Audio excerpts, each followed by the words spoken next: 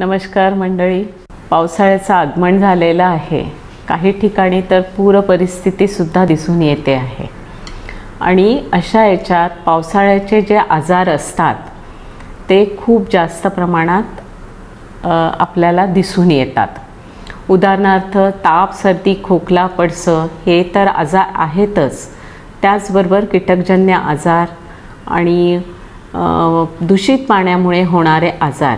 यांचंसुद्धा प्रमाण जास्त प्रमाणात वाढ वाढलेलं दिसून येतं.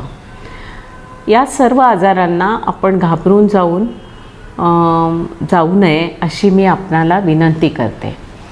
हे सगळे आजार असे आहेत की आपण जर वेळीच याच्यावर लक्ष दिलं आणि आपली काळजी घेतली तर निश्चितपणे या आजारापासून आपल्याला पूर्णपणे मुक्ती मिळू शकते. मंडळी हे सगळे आजार जे आहेत ते सेल्फ लिमिटेड असतात. आपल्याला कुठल्याही प्रकारचे सिमटम्स मिळाल्यास आपण आपल्या शेजारच्या आरोग्य संस्थेत जावं. डॉक्टरांकडनं नियमित त्याच्याबाबतची तपासणी करून घ्यावी आणि त्याच्यावर इलाज घेण्यात यावा. दुसरी एक गोष्ट मला आपल्याला सांगायची आहे ती म्हणजे हे जे होणारे पावसाळ्यातले आजार आहे हे अस्वच्छतेमुळे जास्त प्रमाणात वाढतात. डासांच्या अंडी आणि अळिया अळ्या या दिवसात जे साचलेलं पाणी असतं घराच्या आजूबाजूला अस्वच्छता असते.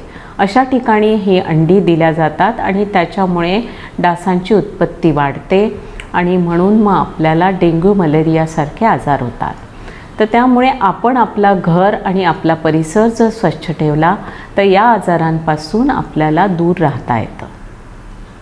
त्याचप्रमाणे मंडळी पावसाळ्यात दुसरा जो आजार जास्त प्रमाणात दिसून येतो तो होतो म्हणजे दूषित पाण्यामुळे.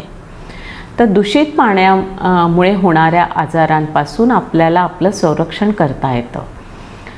ज्या जे जी तुमची पाण्याची साठवणुकीचे जे भांडी असतील ती आठवड्यातून एकदा स्वच्छ धुवून पुसून आणि ड्राय करणं हे गरजेचं असतं. त्याचप्रमाणे जर आपण पाणी स उकळून प्यायले तर त्या दूषित पाण्यामुळे होणाऱ्या आजारांपासून आपल्याला मुक्ती मिळू शकते. तरीसुद्धा मंडळी हे आजार जे आहेत हे आपण अंगावर काढू नये आपल्याला जर कुठलं सिमटम्स आढळलं तर त्वरित नजीकच्या आरोग्य केंद्राला भेट द्यावी आणि त्या ठिकाणी आपल्या तपासण्या करून या आजारांवर आपण इलाज करू शकतो. आजकाल आपल्याला बरेचसे नवीन आजारसुद्धा ऐकायला मिळतात. उदाहरणार्थ मंकी पॉक्स आहे झिका आहे यासारखे व्हायरल इन्फेक्शन्स आपल्याला टेलिव्हिजनच्या माध्यमातून किंवा इतर माध्यमातून ऐकायला मिळतात. आणि मग अशा वेळेस आपण घाबरून जातो. तर मंडळी या आजारांवर सुद्धा आपण घाबरू नये. आपल्याला जर काही सिमटम्स आढळले आपला संपर्क कुठल्या परदेशी प्रवासाच्या बरोबर आला आणि नंतर आपल्याला काही सिमटम्स आढळले तर आपण त्वरित डॉक्टरांशी संपर्क साधावा आणि त्यांच्याकडनं इलाज करून घ्यावा. कुठल्याही प्रकारे घाबरून जाऊन जाऊ नये. अशी मी आपल्याला विनंती करते. हे सगळे आजार आपण कंट्रोलमध्ये आणू शकतो. फक्त गरज आहे ती आपण लवकरात लवकर डॉक्टरांचा सल्ला घेण्याची. अंगावर कुठलाही आजार काढू नये. त्याचबरोबर मंडळी आणखी एक विनंती आपल्याला करायची आहे. ती म्हणजे कोविडचे लसीकरण आता खूप जास्त प्रमाणात घर सुरू आहे. प्रत्येक जिल्ह्यातून सुरू आहे.